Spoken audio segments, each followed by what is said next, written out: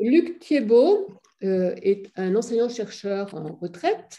Il a été en particulier professeur d'économie et politique de l'environnement à l'AgroSup de Dijon. Il a également été en 83-85 conseiller technique au cabinet de la ministre de l'Environnement. Luc Thiebaud est par ailleurs ami de l'Algérie, habité par la Méditerranée et par l'altérité sous toutes ses formes. À Rennes, il dirige la Maison de la Méditerranée, qui œuvre au rapprochement des peuples des deux rives. Il est également co-réalisateur avec Caroline Philibert d'un film À chacun son Algérie. Il propose de nombreuses conférences, parmi lesquelles Diversité du patrimoine religieux de l'Algérie, fruits et légumes euh, de la Méditerranée, l'architecture néo-mauresque en Algérie. Aujourd'hui, à l'aube de cette année 2022, celui qui, à 16 ans, voulait sauver le monde, va évoquer pour nous les îles dans les relations entre la France et le Maghreb. Monsieur Thiebaud, vous avez la parole. Merci beaucoup. Merci beaucoup, Madame Maille, merci à l'UTL de Brest de m'inviter. Et désolé pour ce contretemps virologique. Euh, voilà, donc nous allons parler euh, aujourd'hui euh, d'une des facettes, d'une des nombreuses facettes des relations entre nos pays, entre la France et, les pays du Maghreb, principalement Tunisie, Algérie, Maroc. et alors, pour commencer, on va explorer un petit peu les, mots, qui, les mots qui nous unissent. vous savez tous, vous connaissez le mot récif, petite île. Euh, ben, ce mot, euh, il, vient, il vient de l'arabe et il est passé, comme beaucoup de mots arabes, par, euh, par l'espagnol. Arrecif, ça veut dire, ça veut dire lequel, la, jetée. Ah, bah oui. C'est bien. et il y a peut-être des gens qui me posent. Non, je, continue à parler. Hein, J'entends des. Alors, donc, le, mot île qui nous intéresse, en, grec, c'est nisos et en, en latin, c'est insula. Et on va retrouver comme synonyme pour un archipel bien connu, un grand archipel, l'Indonésie ou insulin, on va retrouver ces deux racines latines et grecques. Alors pourquoi je parle de ce grand pays, l'Indonésie? Parce que c'est le pays natal euh, d'un grand peintre tunisien qu'on va retrouver, euh, Atem El Mekki, qui est né, qui à Jakarta hein, et qui a euh, dessiné beaucoup de, timbres que l'on va utiliser dans cette petite causerie. Voici pour, euh, donc, pour les îles. Et alors, en arabe, qui va être une des langues principales de, qui nous intéresse euh, cet après-midi, comment on, comment on dit île? Eh bien, île en, arabe, ça se dit jazira. Jazira, en général, le pluriel de jazira en arabe, c'est jouzour. Hein.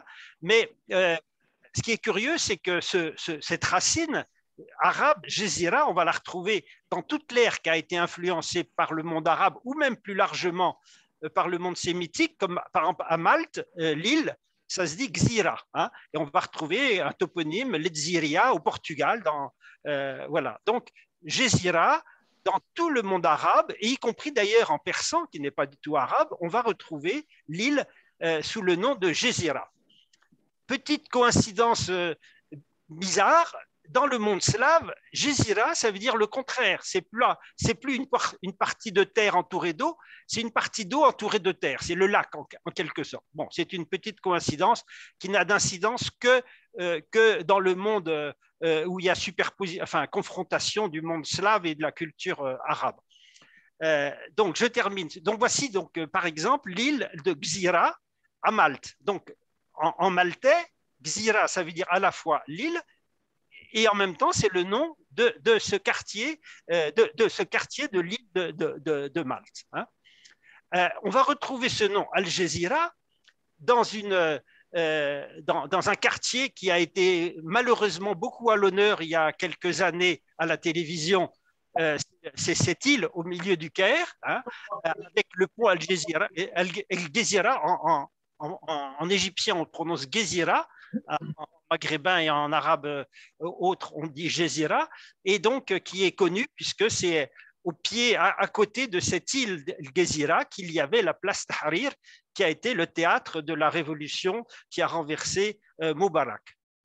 on va retrouver la même racine, Géziré, pour désigner, pour désigner cette région à cheval sur l'Irak et la Syrie, euh, ce qu'on appelle la Mésopotamie, Mésopotamie entre deux fleuves. Donc c'est une île, Jésiré, entre deux fleuves, entre les Tigres et l'Euphrate. Et là aussi, malheureusement, ces dernières années, on en a beaucoup parlé, puisque dans cette Jésiré, il y a à la fois la ville martyre de Raqqa en Syrie et la ville non moins martyre de Mossoul en Irak. Et on viendra sur Mossoul, puisque ça a donné un patronyme important pour notre sujet.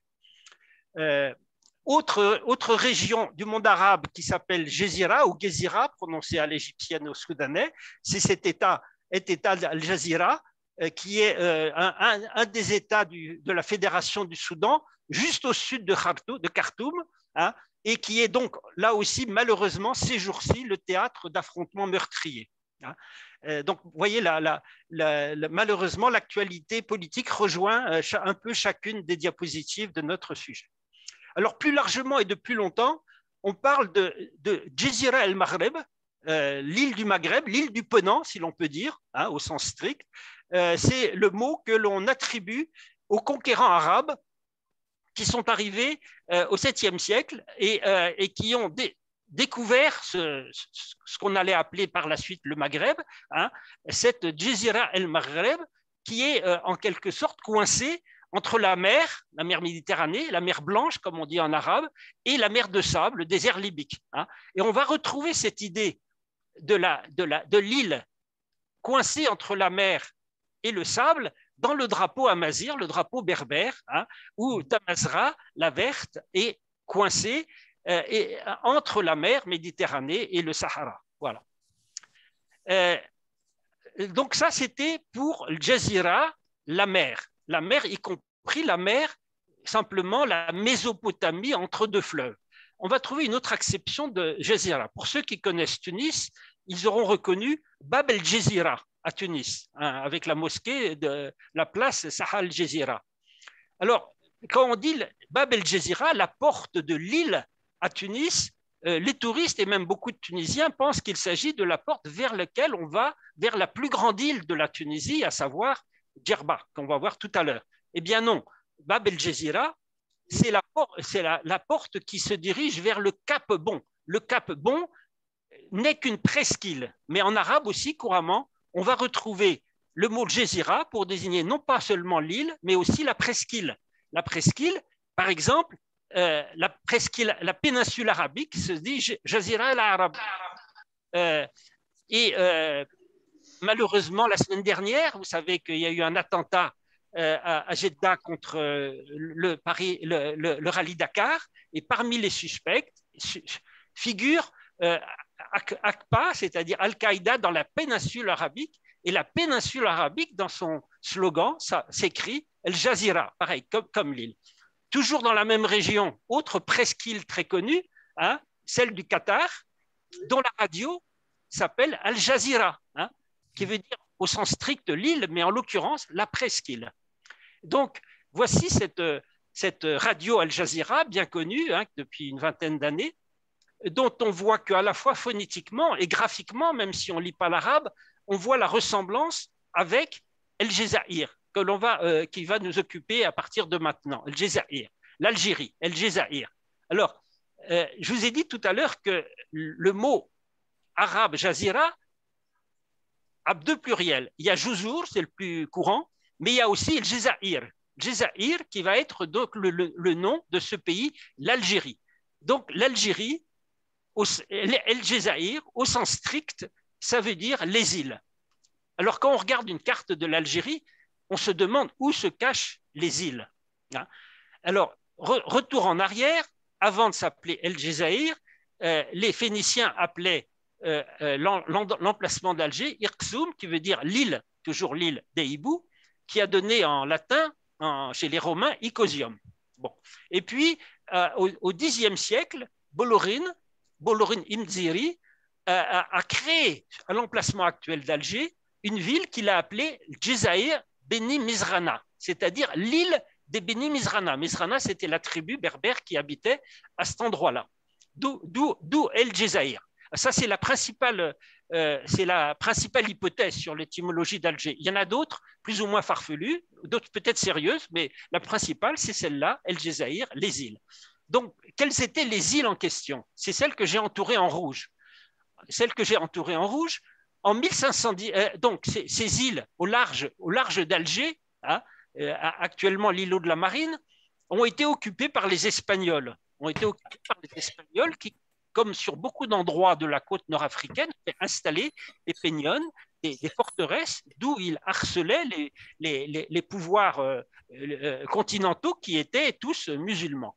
Et donc, quand Barberousse, en 1517, a réussi à reprendre aux Espagnols, la première chose qu'il a faite pour euh, se débarrasser cette aiguille, c'est de relier les îles hein, de Stofla au continent par, par le, par le, biais d'une jetée, la, jetée de l'amirauté. Alors, puisque nous sommes, euh, puisque nous sommes à Brest, un petit détour par euh, l'histoire de Brest, hein, donc voilà un timbre qui représente la Casbah d'Alger, c'est-à-dire en fait la vieille ville d'Alger, hein, parce que la Casbah c'est un mot moderne pour désigner toute la vieille ville, mais autrefois la Casbah ce n'est que la forteresse qui est au sommet de, l'actuelle Casbah. Et donc la, vieille ville d'Alger, la Médina d'Alger, la Casbah si on veut dire au, sens moderne, vue de cette île-là, vue de la jetée de l'amirauté. C'est sur cette jetée de l'amirauté que figurait euh, le, canon, que, siégeait le canon Baba Merzoug, hein, qui est aujourd'hui dans le port de Brest. Hein. Euh, et qui, euh, en, français, à Brest, je crois, s'appelle la consulaire, en hommage au père Levaché, le consul de France euh, à, Alger, qui a été déchiqueté à la, bouche de ce canon, nous dit, nous, dit l'histoire. El Jizahir, donc, ça va être le nom, à partir de ce moment-là, de la ville d'Alger. Euh, et, alors là, malheureusement, mon écran euh, peut-être n'est pas complètement partagé.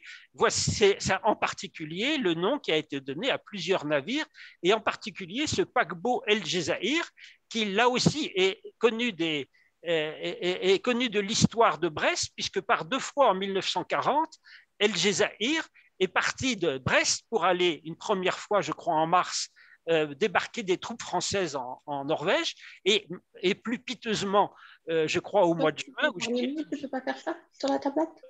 Euh, évacuer le trésor de la Banque de France, toujours sur ce paquebot El Jezaïr. Voilà. Alors, El Jezaïr, en, en, abrégé, si dans les plaques internationales, aussi bien Internet que les plaques minéralogiques, c'est DZ. Hein, c'est DZ, Jezaïr, puisque en Algérie, le J, le Jim, se prononce Dje. Hein. Alors, DZ, euh, c'est donc la plaque de, de, l'Algérie. C'est aussi, vous le savez, plus près de Brest, la, plaque au, niveau des bateaux, je ne sais pas comment on dit bateau, pour Douarnenez. Hein, mais ça n'a rien à voir, c'est une coïncidence, un jeu de mots. Euh, de Djezaïr va, euh, va, découler le vieux mot français de Jazran, qui désigne en particulier une chaîne de coups à, maille très fine. Hein. Autre petit jeu de mots, cette fois en turc, quand on parle, quand on, écrit El Césaire en turc, euh, ça se prononce comme en français Césaire, sauf qu'en turc, le J s'écrit avec la lettre latine C. Hein. et donc, euh, le, la graphisme, le graphisme apparent en turc de Césaire, ça ressemble évidemment à Cisaïr, Ce qui rejoint comme jeu de mots le fait que Jazira, au départ, la, racine arabe Jazira, l'île, euh, est liée alors je ne sais pas dans quelle mesure, parce que je ne suis pas assez compétent en, langue arabe, mais lié à la racine de jazar, qui veut dire couper. Hein. Le boucher se dit jazar. Hein. Et jazar aussi pour la mer se dit pour refluer. Quand la mer euh, se retire, on parle aussi de, on a aussi la racine jazar. Hein. Alors à partir de El Jezira, on va retrouver énormément euh, de toponymes tout autour de la Méditerranée. On l'a vu déjà au Portugal, à Malte. On, voit une autre ville très connue qui euh, euh, prend ce, toponyme-là, Algésiras, hein. en arabe Algézira el Khadra, c'est-à-dire l'île ou la presqu'île verte. Hein.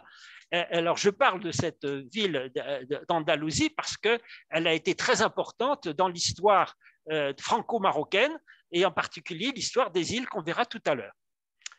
Alors, euh, en, en, tamazir, en berbère, euh, l'île se dit Tixirt. Hein. Alors on voit la proximité. Alors je ne rentre pas dans les polémiques entre est-ce que c'est euh, une berbérisation de l'arabe ou, ou, est-ce que l'arabe est, plus récent que le berbère, peu importe. Toujours est-il que l'île en berbère se dit Tigzirt. C'est le nom d'une ville de, c'est d'une ville littorale de Kabylie qui tire, son nom de cette petite île qui a au large de Tigzirt.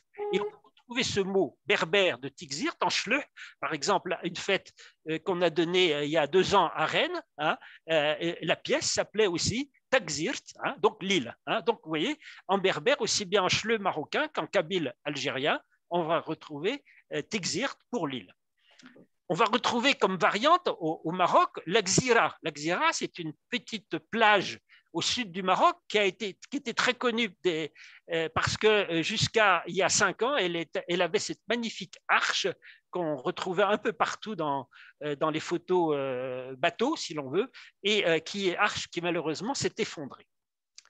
Alors, à partir de maintenant, on va essayer de regarder un peu plus systématiquement d'abord les îles du Maghreb puis on verra les autres îles en dehors du Maghreb dans leur relation avec le Maghreb. Alors, le, euh, Maghreb, qui, est représenté ici en bleu, c'est la carte de l'Union du Maghreb arabe, euh, un organisme qui malheureusement est en léthargie depuis pratiquement sa création. Le Maghreb est une région, un sous-continent de la moitié nord de l'Afrique qui s'adosse contre euh, le, montagne Atlas. Les montagnes Atlas, c'est des montagnes assez hautes qui, surtout en Algérie, mais aussi en Crimée tunisienne ou dans le Rif marocain, vont tomber à pic dans la mer et donner des petites îles rocheuses. Hein. Euh, c'est l'image des côtes très hautes, de la haute barbarie, comme nous dit, comme nous dit la High Barbary, comme nous dit la chanson des marins anglais, qui a été reprise par les Marines américains lors des premières guerres euh, des, États-Unis contre, contre, les pirates barbaresques, hein, la, la haute barbarie, qui va tomber donc à, à pic dans la mer Méditerranée. Mais à, ces deux extrémités, du, côté, euh, du côté oriental, du côté euh, euh, oriental vers la Libye et, la Syrie, et du, côté occidental vers la Mauritanie, on va avoir des zones à faible profondeur, au contraire, où les, les îles vont être d'une autre logique. Alors, par exemple, on a, là, c'est les zones à faible profondeur, et du côté de la Mauritanie, on a le banc d'Arguin, euh, qui est connu pour euh, l'échouage qu'a subi le radeau de la Méduse, euh, qu'a subi la Méduse plus exactement en 1816. Donc ça, c'est du côté mauritanien qui ne va pas nous retenir plus longtemps. Allons plutôt en Orient vers la Tunisie, dans le golfe de, la Petite Sirte, qui est commun à la Tunisie et le golfe de Gabès et à la Libye, un, un golfe très peu très peu profond et euh, avec sur le continent un seuil très peu élevé, d'où l'idée qui a germé chez les ingénieurs au XIXe siècle de faire communiquer, de faire rentrer la mer Méditerranée au pied de l'Atlas jusqu'à Biskra.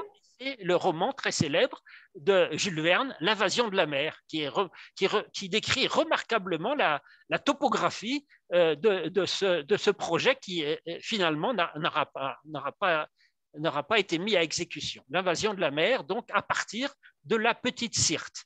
Donc dans cette petite Sirte vont se trouver des îles, et en particulier des îles assez basses, sableuses, hein, puisqu'on n'est pas au pied de l'Atlas, et qui vont être les plus grandes îles, en fait, les, plus grandes îles du Maghreb, donc qui font partie des îles de la Tunisie. Alors, une des plus connues, celle que sans doute plusieurs d'entre vous ont vue ou ont montré à leurs petits-enfants, c'est celle qui a dans ce très beau film d'Albert Lamoris, Bim, le petit, le petit âne, il faudrait dire plutôt Bim, parce que ce n'est pas Bim, mais Bim, hein, le petit âne. Euh, et euh, dans, cette, dans, cette, dans cette île, qui n'est pas précisée, on a tout de suite reconnu Djerba. Djerba, donc euh, Djerba qui est une magnifique île, la plus grande île du Maghreb, la plus grande île du Maghreb, assez basse, et donc on va le voir menacée par l'élévation du, euh, du niveau de la mer, hein, euh, une ville qui est très riche en termes de la diversité de son patrimoine religieux.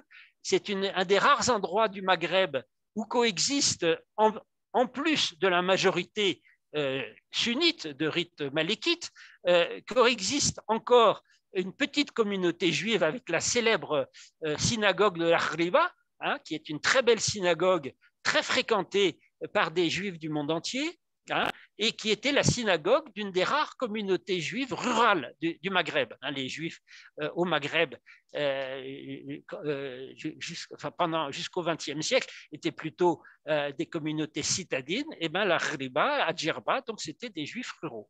Deuxième, deuxième minorité religieuse à Djerba, hein, la minorité ibadite, voici une des mosquées hein, ibadites, donc qui n'est pas sunnite non plus, ni, sunnite ni chiite. Et puis, euh, non pas minorité existante, mais dans le passé, on a eu euh, le passé, lui, chiite, euh, à côté de Mahdiya, hein, qui a été créé par les chiites et les fatimides, hein, et qui nous ramène à l'occupation l'occupation normande de cette région-là, et en particulier de Djerba, par les Normands de Sicile. Euh, donc Djerba qui euh, mérite largement, à la fois sur le plan de son paysage et de, son, sa, très riche, euh, de sa très riche histoire, de faire les honneurs de la, de la littérature. malheureusement, Djerba fait aussi l'honneur de la, des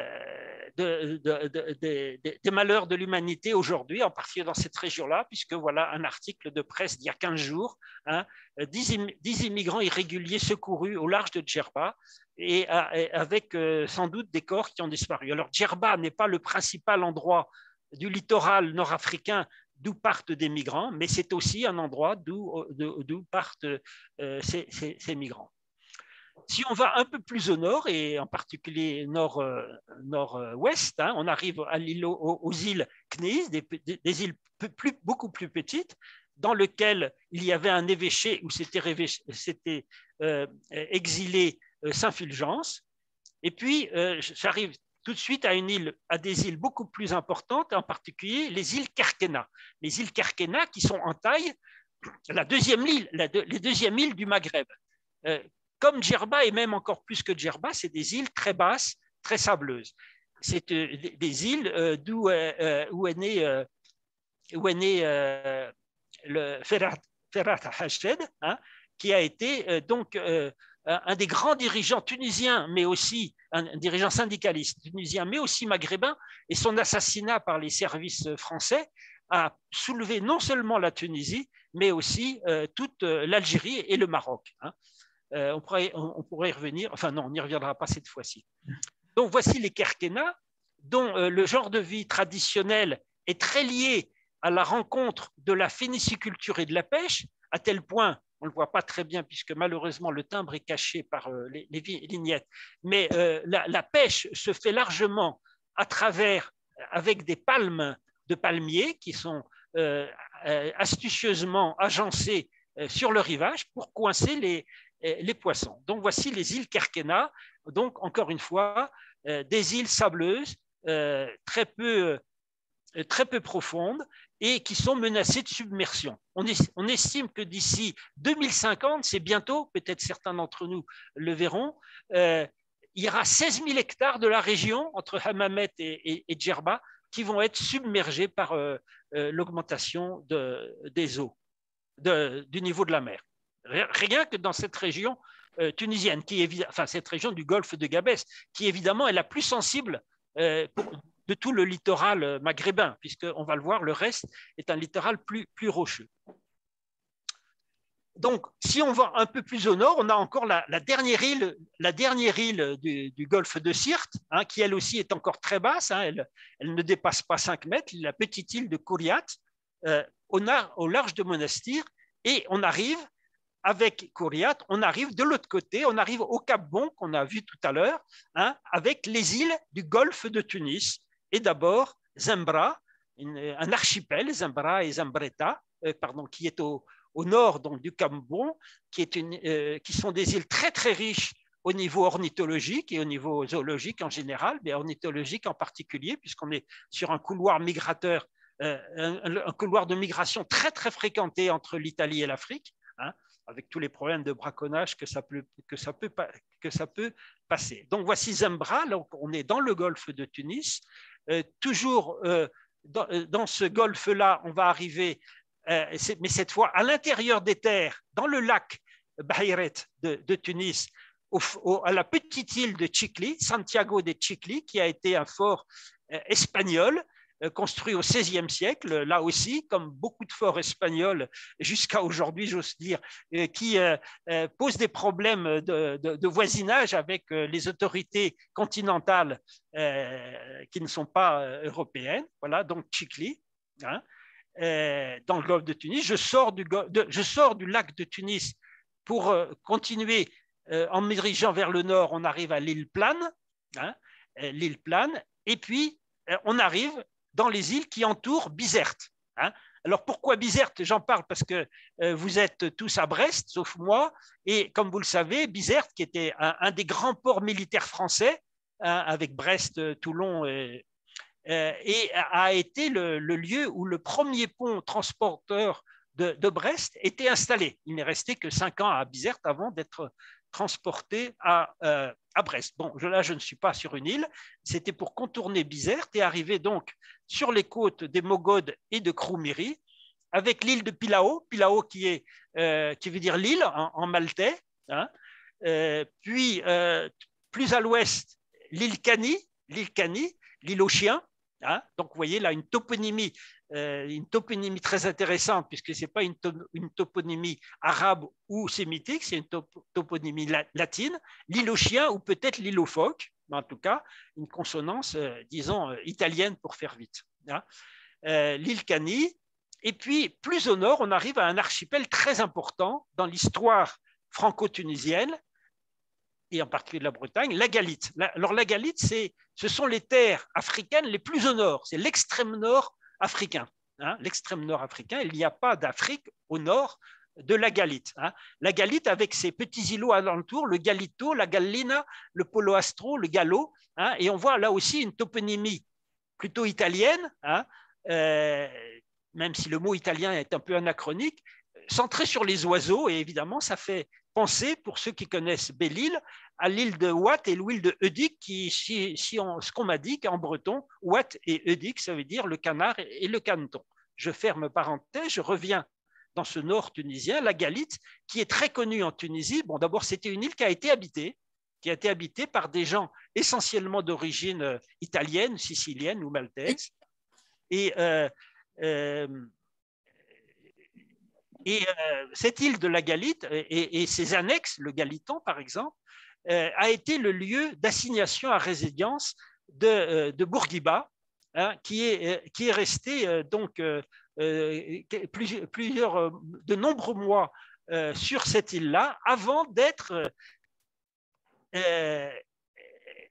exilé, parce que là, la Galite, il était encore dans une terre tunisienne, même s'il n'y avait plus, il n'y avait pratiquement pas de Tunisiens qui habitaient sur cette île, mais il était encore en Tunisie. Et il a été exilé dans l'île de Groix. Hein, à l'île de Groix, euh, il a été exilé dans l'île de Groix, donc en, début 1954 jusqu'au 20 mai. on reviendra évidemment sur l'île de Groix, qui est très importante pour notre sujet.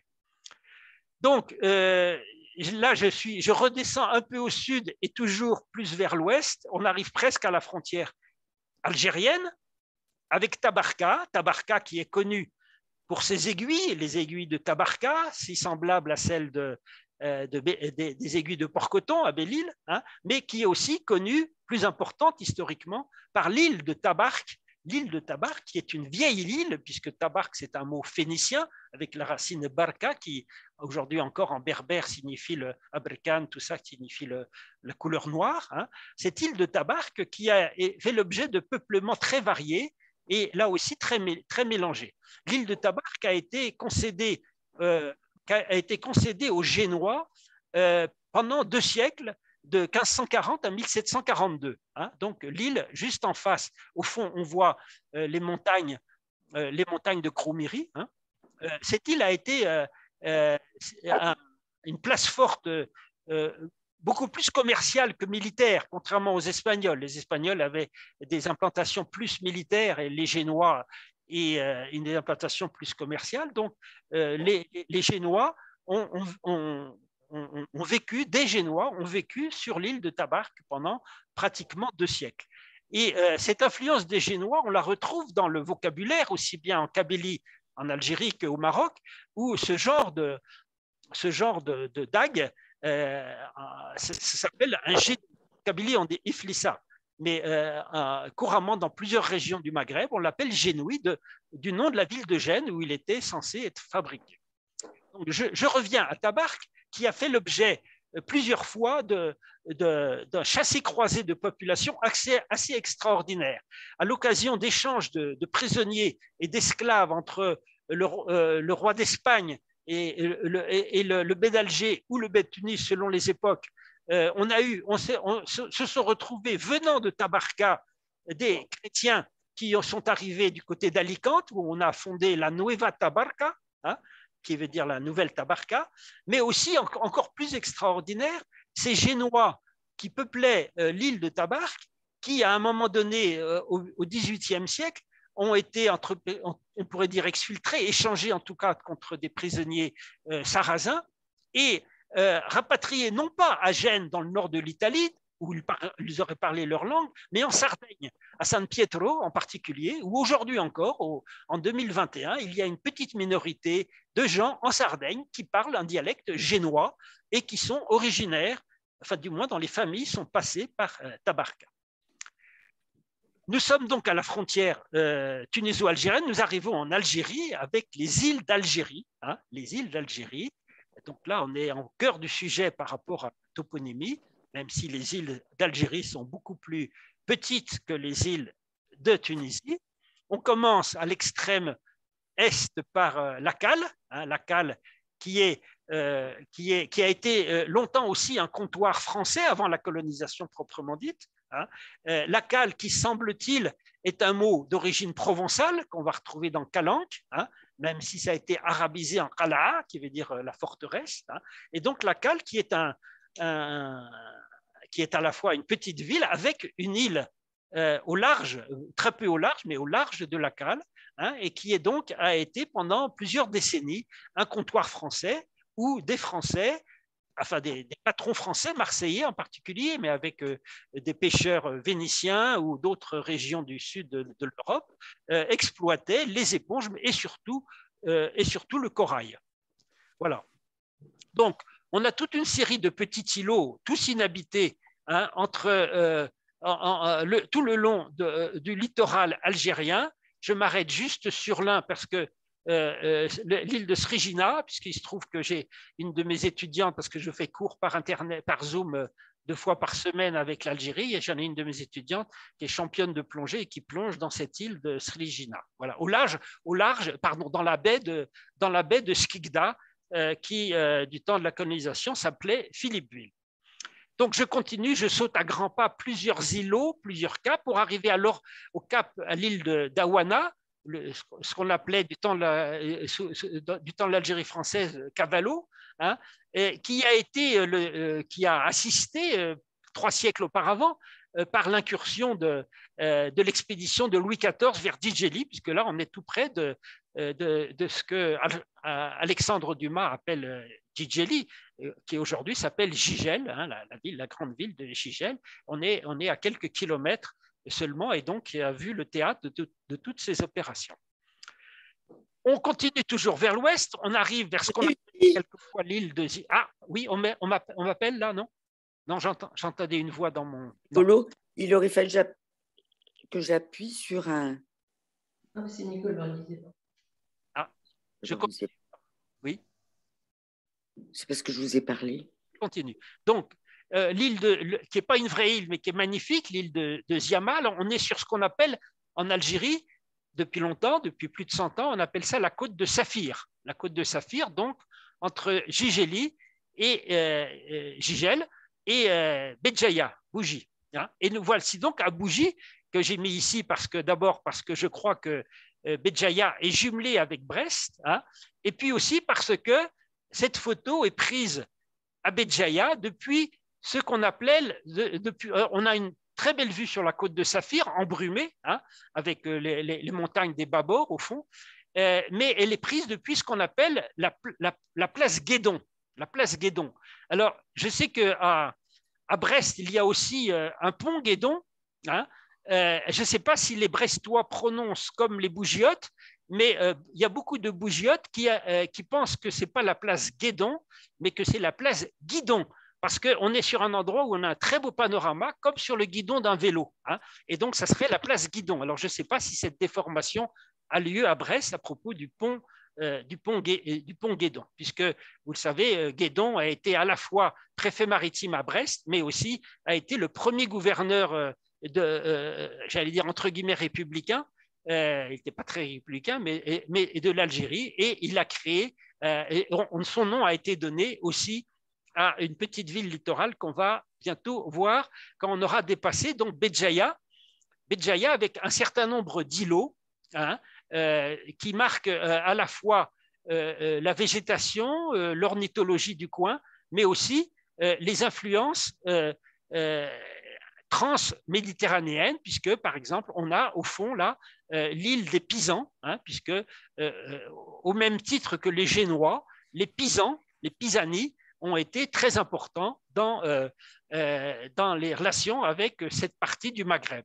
Hein. Alors cette île du Pisan, elle a aussi le nom, on l'appelle aussi l'île de Djerba. Hein. C'est en quelque sorte un homonyme, un homonyme de la grande île de Djerba qu'on a vu tout à l'heure en Tunisie, Djerba, qui, d'après des amis berbérophones, me disent qu'un un, berbère, un, amazir, Djerba voudrait dire le pot, la marmite. Hein. Donc, c'est cette idée de, de marmite. Donc, on continue, on continue la, côte. Là, on est donc dans la côte euh, assez abrupte de la Grande Kabylie, la, Grande Kabylie maritime. On dépasse donc le, village qui s'appelait Port-Guédon, hein, qui euh, a retrouvé son nom de Asfoun, une, ville, très importante culturellement pour l'Algérie. Et on arrive donc à Tixirt, qu'on a déjà vu tout à l'heure. Tixirt, qui veut dire l'île, hein, qui est donc juste au nord de, Tizi Ouzou. Euh, voici une autre photo de Tixirt euh, d'il y a 50 ans, donc l'île au large de, la côte de Iflissen. on arrive, je ne m'y attarde pas, à Alger, l'îlot de l'Amirauté, hein, puis l'îlot de Ain ex-Guilloville. Je continue, on longe, on longe la côte euh, des Dahra, hein, on longe la côte des Dahra, où là aussi on va avoir quelques petits îlots sur lesquels je... Et pour arriver enfin en Oranie, la première île d'Oranie qu'on va trouver venant de l'Est, c'est l'îlot d'Arzeux. Arzeux qui est, une grande, euh, qui est une grande, un grand port euh, pétrolier, hein, et, qui, au large, donc, a ce petit îlot, ce charmant petit îlot avec un fort dessus. Et je, signale juste Arzeux parce qu'on est tout près euh, de la ville qui s'appelait sous la colonisation Renan. On est à 3 km du village de Renan, euh, dont, les cloches de l'église de Renan, après euh, l'indépendance, ont été rapatriées à Brest, m'a-t-on dit, à l'église Saint-Luc. Hein. je ne sais pas s'il y en a qui connaissent. Moi, je ne connais pas, j'ai vu ça, tout ça sur Internet. voilà. Donc, je dépasse Arzeux et j'arrive à, j'arrive à Oran, le grand port pinardier d'exportation du vin algérien, sachant que Brest était aussi, lui, un grand port pinardier d'importation à une certaine époque. Bon, je n'insiste pas parce que euh, je ne connais pas bien suffisamment Brest pour m'aventurer dans, ces, euh, dans ces bouteilles. Alors, juste après, juste après Oran, on a donc Mercel Tébir, bien connu des Brestois, puisque beaucoup de Brestois y sont morts le 3 juillet 40 euh, dans les bombardements britanniques. Hein. Et puis, on arrive après, donc à l'ouest d'Oran, dans une grande île, je crois que c'est la plus grande d'Algérie, les îles Habibas, hein, euh, qui sont très prisées par euh, les ornithologues. Hein, c'est des îles qui ont fait l'objet d'un voyage d'études du Conservatoire du littoral très intéressant, dont je pourrais donner les références. Euh, donc des grandes îles, on l'a appelé la Galapagos du Maghreb, c'est sans doute un peu exagéré, mais c'est voilà, vu pour l'Algérie, c'était une grande île euh, où, dans laquelle il n'y a pas d'habitants euh, civils, si l'on veut, mais il y a des gardiens de phare, donc un, grand. Et je, plonge toujours plus à l'ouest et le sud, on arrive à l'île Rajgoun, presque à la frontière marocaine. L'île de Rajgoun, donc au large de Benissaf, hein, l'île de Rajgoun à l'embouchure, alors qui a été très tôt très très tôt occupé par les Français en 1835. Et là, on voit des officiers euh, de l'armée française qui dessinent. À l'époque, il n'y avait pas de, géo, comment on appelle ça, de Google Earth, hein, pour qui dessinaient le plan de cette île de Rajgoun, qui était stratégiquement euh, importante à la fois parce qu'on était pas loin du Maroc, mais surtout parce qu'à l'embouchure, à l'embouchure de, au continent, au niveau de l'île de Rajgoun, il y avait la, Tafna, la rivière Tafna, qui était un peu l'épicentre des forces d'Abdelkader. Et c'est d'ailleurs à la Tafna qu'a été signé en 1837 le traité de la Tafna entre Bugeaud et Abdelkader. Bon, traité qui euh, n'aura pas fait long feu, mais euh, qui a été quand même un moment important dans l'histoire de la résistance algérienne à la conquête française. Euh, voilà l'île de Rajgoun, donc au large, au large de la Tafna. Et donc on arrive, on arrive donc au Maroc. Alors au Maroc, on a une autre problématique.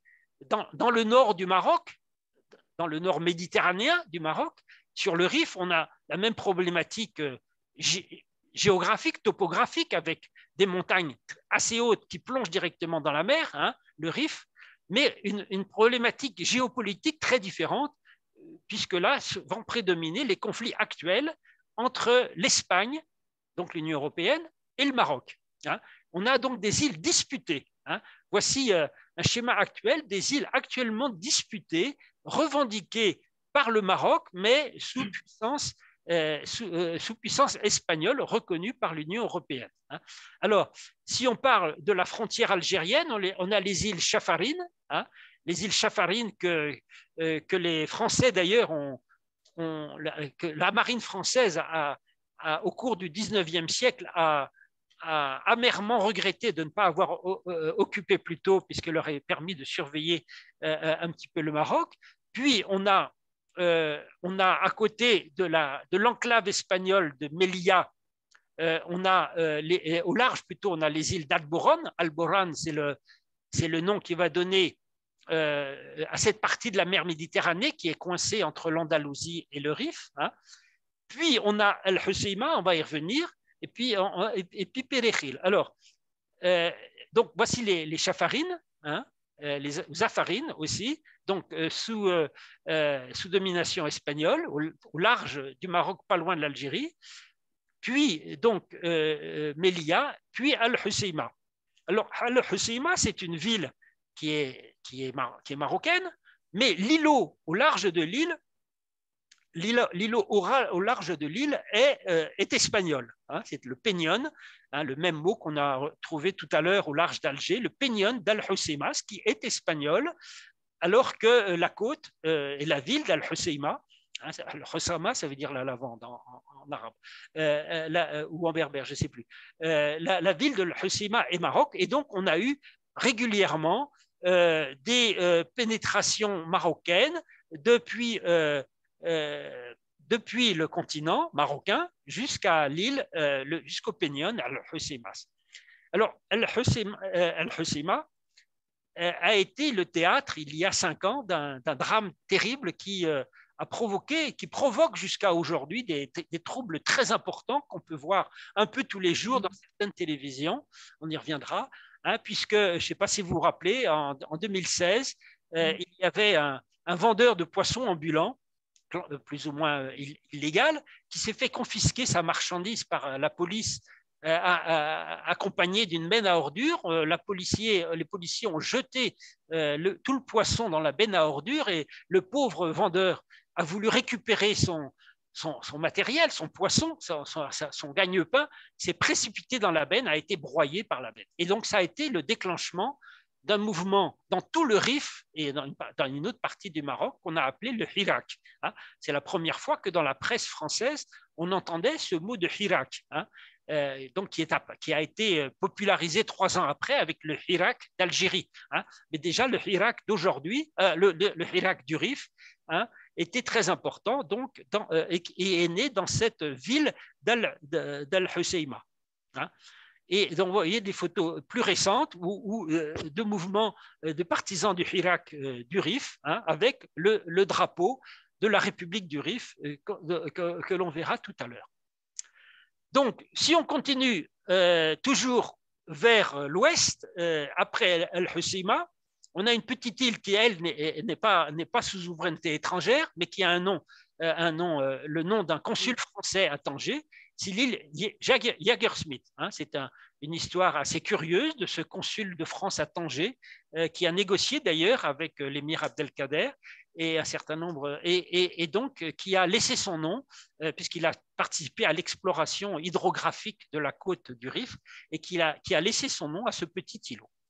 On arrive, on arrive à Ceuta, hein, on arrive à Ceuta, Ceuta pour les Espagnols, Septa pour les Marocains, avec une petite île euh, pleine de mystères qui serait sans doute l'Ogigi de l'Odyssée, Calypso. Hein.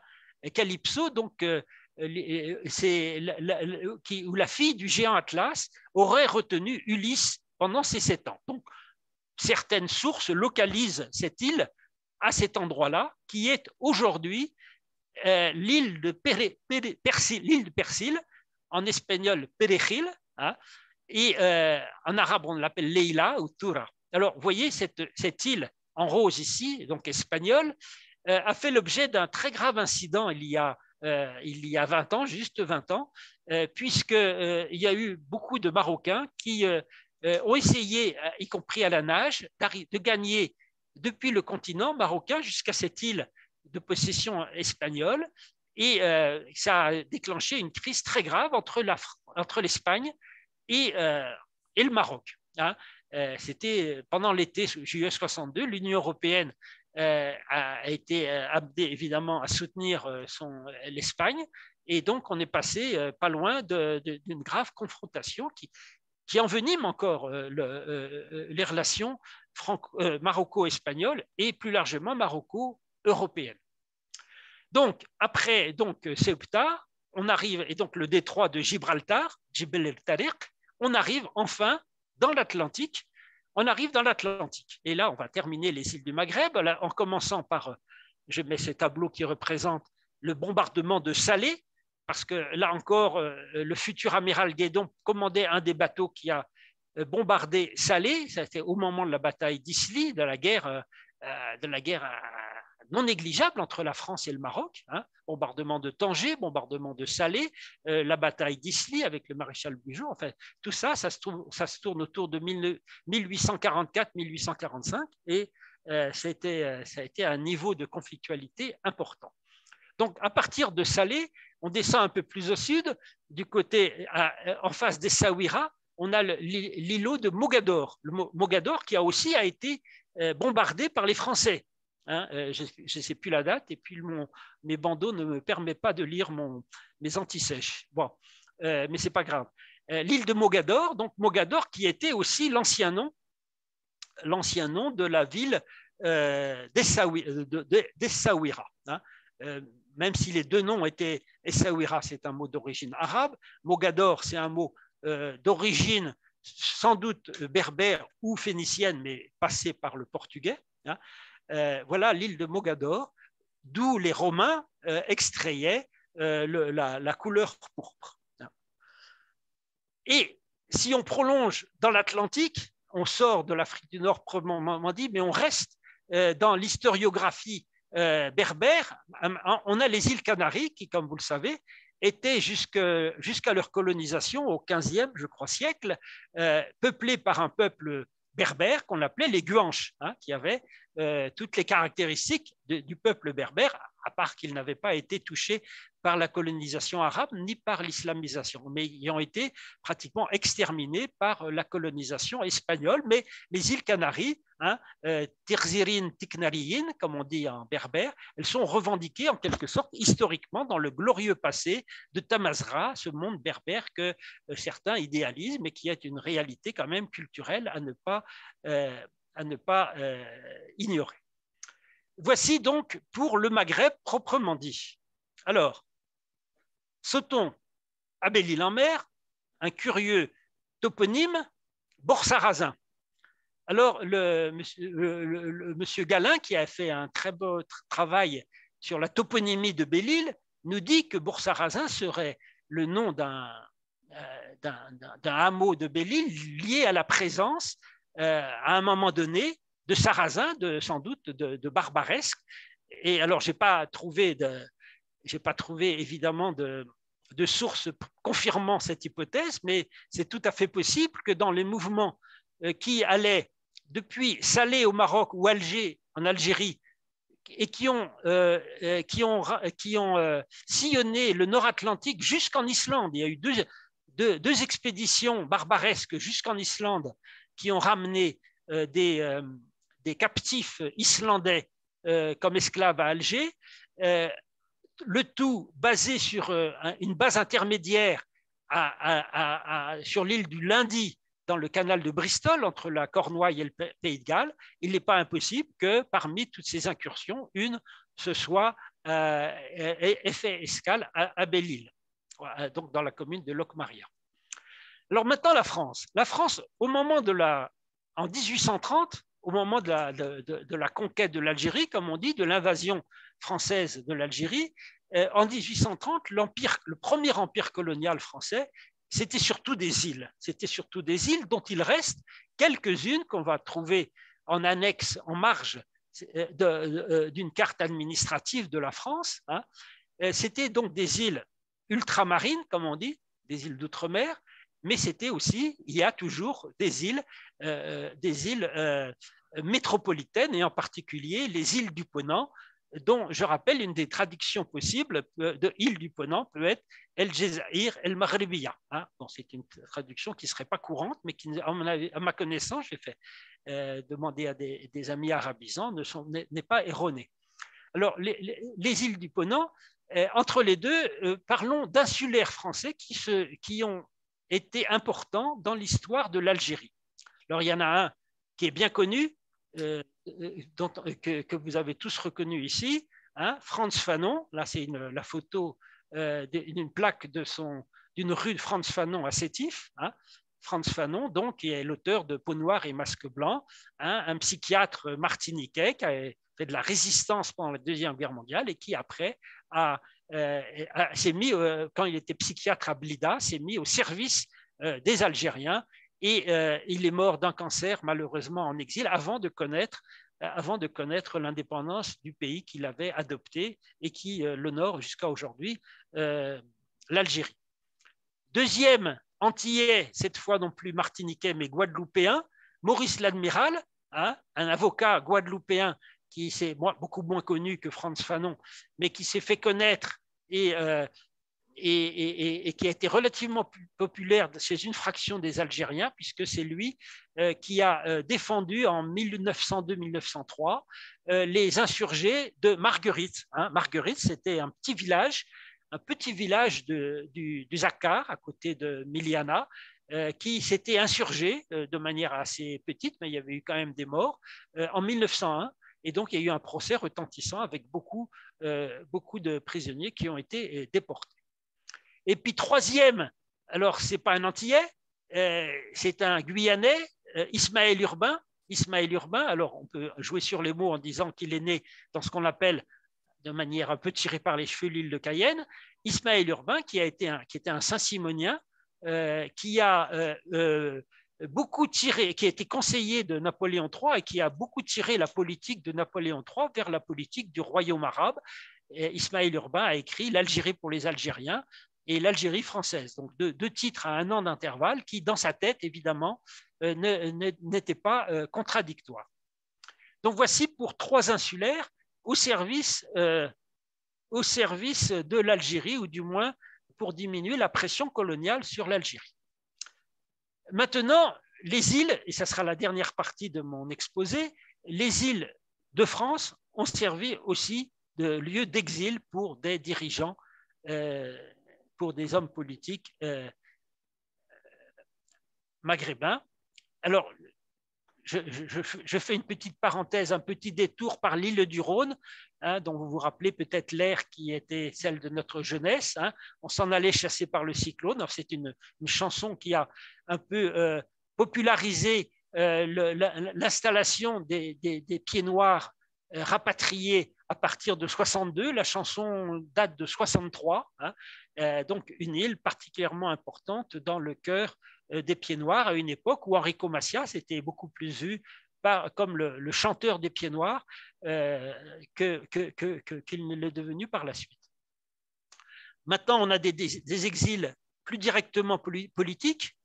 Euh, on a parlé de, de, la Guyane tout à l'heure. Alors, comme je l'ai dit, la Guyane n'est pas une île, mais elle a des îles. En dehors de l'île de Cayenne, il y a les îles du Salut, qui ont été donc des lieux de, euh, déportation, de bagne. Hein, euh, et, donc, on, estime, j'en discutais la semaine dernière avec un, ami algérien de Guyane qui fait des recherches sur les bagnards de Guyane, qui estime qu'entre 20 à 30 000 Algériens sont passés dans les différents bagnes de Guyane, et en particulier les bagnes continentaux, parce que les, bagnes des îles, en particulier les, îles du Salut, qui étaient assez terribles, parce qu'on ne pouvait pas s'en échapper, mais qui étaient moins terribles sur le plan climatique que, les, bagnes de Saint-Laurent du Maroni, euh, les, îles du Salut étaient plus réservées aux prisonniers métropolitains, comme justement le capitaine euh, Dreyfus.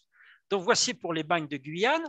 Et puis, euh, euh, un des derniers bagnards algériens euh, de Guyane qui n'en est sorti qu'en 1954, qui n'est rentré de Guyane. les bagnes avaient été abolis déjà, hein, mais il était resté en Guyane jusqu'en 1954. Voilà donc Morseli Serrada. En dehors de la Guyane et après la succession de la Guyane, la Nouvelle-Calédonie, la Nouvelle-Calédonie où ont été déportés de nombreux Algériens, mais aussi des Marocains, des Tunisiens, mais surtout des Algériens, et en particulier ce qu'on a appelé les Kabyles du Pacifique, suite à la révolte, euh, à l'insurrection pardon, de, de Mokrani en 1871. Hein, de, nombreux, euh, de nombreux Algériens de la région de Petite Kabylie ont été déportés en Nouvelle-Calédonie, en passant, euh, en passant pour certains d'entre eux par un, un bagne, une prison à côté de Brest, le fort, alors je ne me rappelle plus les noms, vous m'en excuserez, une petit, un fort de l'autre côté de la rade de Brest, je crois. Et toujours est-il qu'en Nouvelle-Calédonie, euh, les, déportés algériens, pour certains, ont fait souche. Hein. je crois qu'il y a un maire actuel de Nouvelle-Calédonie qui est un descendant de la famille Mokrani. Hein. et les, Algériens de Nouvelle-Calédonie euh, se sont plus ou moins euh, lentement euh, fusionnés dans, la masse de ce qu'on appelait les Caldoches et ont même, pour certains, et contrairement à Louise Michel, participé à la répression de l'insurrection de Nouvelle-Calédonie de 1860, alors je ne sais plus si c'est 76 ou 78, je ne sais pas, mes, antisèches sont cachés par mon écran. Voici pour la Nouvelle-Calédonie. Maintenant, revenons en métropole. Euh, dans l'Hexagone, on a d'abord les îles de Méditerranée, l'île de Porquerolles, où pendant la conquête de l'Algérie furent déportés de nombreux prisonniers arabes. Hein. Et puis, on a surtout les îles de l'Érins. Bon, alors, les îles de Porquerolles et de Porquerolles d'ailleurs, d'un côté, et les îles de l'Érins, Sainte-Marguerite et Saint-Honorat, ont une longue histoire euh, en lien avec euh, l'Afrique du Nord dès le, je crois, 8e ou 9e siècle. Mais là, pour ce qui nous intéresse, les, derniers siècles, euh, les îles de l'île de Sainte-Marguerite, donc au large de Cannes, hein, j'ai mis un petit, euh, dans le coin, là, j'ai mis un petit, euh, petit agrandissement. Les, îles de Sainte-Marguerite ont été le lieu de déportation d'une partie de la Smala de, l'émir Abdelkader en 1843 et ont été aussi les lieux de déportation de Kroumir euh, en 1881. Euh, Voici une carte postale qui représente dans l'île de Lérins des euh, dont on, donc, qui venaient d'être d'être faits prisonniers par l'armée française lors de l'invasion française de la Tunisie en 1881, 1881 pardon, dont les Croumires ont été les prétextes, hein, puisque il y avait des incursions des tribus Kroumir, donc de Tunisie, vers euh, les terres françaises d'Algérie, et ça a été un des prétextes, mais il y en avait plein d'autres, euh, pour envahir la Tunisie et établir ce qu'on a appelé le protectorat. Euh, voilà. Alors maintenant, je vais m'attarder, et pour terminer, sur quatre exilés maghrébins connus. Hein, important dans l'histoire franco-maghrébine. Alors, celui-là, vous l'avez peut-être reconnu, on le voit, on voit pas mal son effigie à la télévision algérienne en ce moment. Ce n'est pas un Algérien, mais comme son drapeau en bas l'indique, hein, c'est Abdelkrim, l'émir Abdelkrim, Abdelkrim el-Khattabi, hein, qui a euh, créé une république du Rif contre d'abord les Espagnols dont faisait partie euh, Franco, puis, sur, allié aux Espagnols contre l'armée française dirigée, on l'oublie trop souvent, par Pétain. Hein, Pétain qui avait pris le relais de l'IOT à ce moment-là et qui a écrasé cette révolte du Rif dans des conditions assez, assez incroyables de ce qu'on appellerait aujourd'hui de crimes de guerre, de bombardements chimiques par l'aviation. Hein, c'est les premiers bombardements de populations civiles par l'aviation, je crois, de l'histoire de l'humanité. Toujours est-il que Abdelkrim Khattabi euh, s'est rendu euh, en, en 1926 et il a été déporté à La Réunion jusqu'en 1947. Donc, vous voyez, pendant 20 ans, un grand chef nord-africain euh, qui avait un très grand prestige est resté assigné à résidence à La Réunion. Il s'en est évadé en 1947 pour se euh, réfugier au Caire. Et au Caire, là, on était en plein dans les grands mouvements de libération nationale du Maghreb. Il a reçu plusieurs dirigeants euh, marocains et algériens. Il a reçu aussi Nasser. Donc voici pour Abdelkrim al-Khattabi, hein, créateur de l'éphémère République du Rif, très populaire euh, aujourd'hui. Deuxième grand chef maghrébin que vous aurez reconnu, Mohamed. Mohamed Ben Youssef, qui va devenir ici sur le timbre Mohamed V. Mais à l'époque, il n'est pas encore roi Mohamed V, il n'est que le sultan Mohamed Ben Youssef et euh, les, autorités coloniales du protectorat vont le, destituer, le remplacer par un fantoche, Ben Arafat, et euh, l'exiler d'abord en Corse. Hein, on voit sur ce timbre marocain le trajet depuis le Maroc, un, petit peu étendu vers le sud, vers la Corse, puis vers Madagascar. Et cela à, la date du 20 août 1953. Alors, cette date du 20 août 1953 euh, de l'exil de, euh, de Mohamed bin Youssef, futur Mohamed V, vers la Corse est une date très importante puisqu'elle va être célébrée un an et deux ans surtout après, aussi bien au Maroc qu'en en Algérie, ça va être le début de la deuxième phase de la guerre d'Algérie dans le nord constantinois, avec euh, Zirout Youssef et tout ça, ça va être très important. Et l'année d'après, toujours le 20 août, en 56, hein, pour euh, les éventuels Algériens qui m'écoutaient, bah, c'est connu puisque c'est euh, le congrès de la Souma. Mais la date a été choisie par rapport à, cette date du 20 août 53, dont la première est la destitution de Mohamed Ben Youssef, le sultan. Voilà. Troisième personnage exilé dans nos îles françaises, vous l'avez reconnu, on l'a déjà vu, Bourguiba, donc, qui a euh, fait le trajet de euh, l'île de la Galite, au nord de Bizerte, hein, euh, où il est resté pendant deux ans, de 52 à 54, à l'île de Groix, en Bretagne, où il n'est resté que deux mois, mais où il a euh, euh, laissé pas mal de souvenirs. il était assez bien vu de la population. il n'était pas prisonnier, mais simplement assigné à résidence, et il se promenait avec son fez. Le voilà donc à l'île de Groix. Alors évidemment, autre personnage exilé dans des îles métropolitaines. Cette photo qui est très connue, octobre 56, vous aurez reconnu sur ces six personnages, euh, alors on ne voit pas ma légende en bas, malheureusement, je m'étais. Euh, donc, deux futurs présidents de la République algérienne, euh, deux, quatre futurs exilés dans leur propre pays pour lequel ils se sont battus, et, deux personnages qui vont être assassinés par des Algériens en l'occurrence, donc, vous avez de gauche à droite Ahmed Ben Bella, Mohamed Boudiaf, Hussein Aït Ahmed, Mustafa Lashraf et Mohamed Khider. Voilà. Donc, ils vont être, vous vous rappelez peut-être, arraisonnés dans l'avion qui les transporte du Maroc indépendant jusqu'à la Tunisie indépendante, arraisonnés par les services français, obligés de se parler à Alger. Et là, ils vont subir un certain nombre de lieux de détention, et en particulier dans l'île d'Aix, hein, au, large, au large de La Rochelle, euh, où ils vont être, euh, dans, le, dans l'île d'Aix, ils vont être euh, prisonniers dans le fort Liedo. Voilà. Au nord de, au nord de, de l'île d'Aix, juste au nord, on a l'île de Ré, à Saint-Martin-de-Ré, il y avait toute une, pardon, toute une caserne euh, qui, à partir de 1958, a été réservée aux prisonniers algériens, euh, sympathisants du FLN, suspectés d'être sympathisants du FLN. Et puis, à l'indépendance de l'Algérie, ces prisonniers algériens ont laissé la place à un certain nombre de prisonniers de l'OAS, dont les derniers euh, auraient été libérés après l'amnistie de 1968. Et je termine par le personnage le plus important, puisque c'est à cause de lui un petit peu que j'ai commencé ce travail il y a 25 ans. Euh, vous l'aurez reconnu, c'est Messali Haj.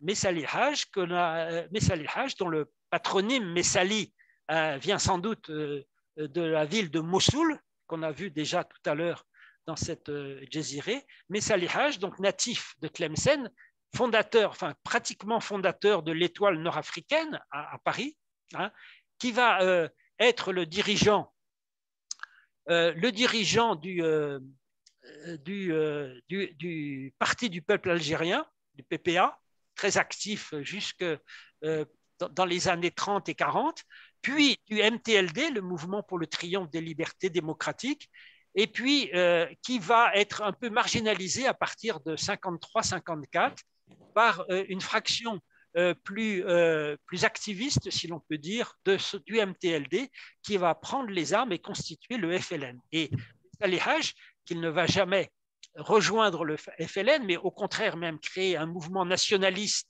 concurrent du FLN, le MNA, va être euh, assigné à résidence très longtemps par les autorités françaises, qui se trompaient totalement de, de cible, puisque le MNA même à l'époque, encore, le MNA très important n'avait pas un rôle important dans la rébellion en Algérie. Hein. il avait un rôle important politiquement dans l'émigration algérienne. Et donc, Messali Haj, après divers lieux d'assignation à résidence, dont, euh, dont Niort, Angoulême, etc., va être assigné à résidence en mars 56 euh, à Belle-Île-en-Mer, hein, où il va rester pendant trois ans. Il va rester pendant trois ans en, euh, en distribuant des bonbons aux enfants, en essayant de semer les policiers qui le suivent, en recevant quelques émissaires clandestins, soit du gouvernement français, soit de son parti, le MNA. Et puis, euh, il va occuper successivement ces deux maisons, hein, la Lorraine à Ramonette, que l'on voit quand on arrive dans le port de Le Palais, puis en deuxième, dans la deuxième partie de son séjour, cette ville-là sur la route de Bangor. Et voilà, donc à un moment donné, euh, va quitter va quitter Belle-Île en janvier 59. On est tout près euh, du discours sur l'autodétermination. Les autorités françaises ont bien vu que Messali Haj n'était plus du tout un élément actif dans euh, l'insurrection dirigée par le FLN, même il y a eu, mais enfin ça c'est une autre histoire, des tentatives par les autorités françaises de convertir les maquis du MNA à leur service. Hein c'est une sombre histoire, mais qu'il ne faut pas non plus exagérer. Euh, voilà, donc voici mes salihages. Et j'ai la chance de détenir une, lettre euh, signée de mes salihages euh, qu'il écrit au, à, à l'instituteur de Belle-Île après son départ de Belle-Île, où il dit en particulier C'est pourquoi nous, restons, nous restons Belle-Îlois et amis de la Bretagne. Il écrit ça en décembre 1959, hein, c'est-à-dire qu'on est en plein encore dans la guerre d'Algérie. On, est on est très très loin des premiers pour parler d'Evian, de toute façon, dont, dont de n'a pas été euh, partie prenante. Voilà, donc Messali qui a été connu par. Euh, enfin, qui était déjà connu, mais qui a fait l'objet d'un très bon livre, je crois que c'était le premier de Benjamin Stora, Hein, et puis donc sa, maison que l'on voit en arrivant au port de Belle. Mais qui pendant longtemps a été censuré par les autorités algériennes, mais qui euh, a été, euh, le, euh, qui a été ces 15 dernières années un peu réhabilité, ce qui fait que j'ai eu la chance quand je suis passé à Tlemcen il y a 15 ans de voir que l'aéroport de Tlemcen avait pris le nom de l'enfant du pays, Messal puisque Messal était natif de, de Tlemcen. Voilà. Eh ben, je vous remercie de votre attention. J'espère que je n'ai pas été trop long. Je n'ai pas regardé combien de temps j'avais mis. C'est très bien.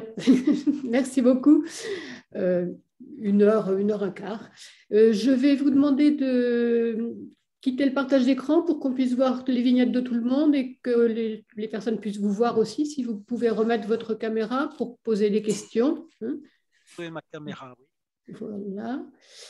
Euh, normalement, quand quelqu'un parle, on, voit, on le voit apparaître en grand, sur l'écran. Est-ce que c'est le cas pour l'instant pour moi? Voilà. voilà. Donc, vous réactivez votre micro si vous voulez poser une question. Hmm. Et vous faites un petit signe. Si vous n'êtes pas, s'il n'y a pas votre, votre caméra, vous, vous, parlez, vous dites que vous demandez la parole. Je crois qu'il y a Babette qui demande la parole. Qu'est-ce qui demande la parole? Babette, Elisabeth Had. Bon, ben allez-y, Elisabeth Had. On ne vous entend pas. Réactivez votre micro. Qui, qui ça, moi? Non. Non, non c'est moi. Voilà. J'ai réactivé, la parole, mais je n'ai pas demandé la parole en fait. Bon. je n'avais pas de question, désolée. Alors, cette intéressante conférence devrait soulever un certain nombre de questions, non?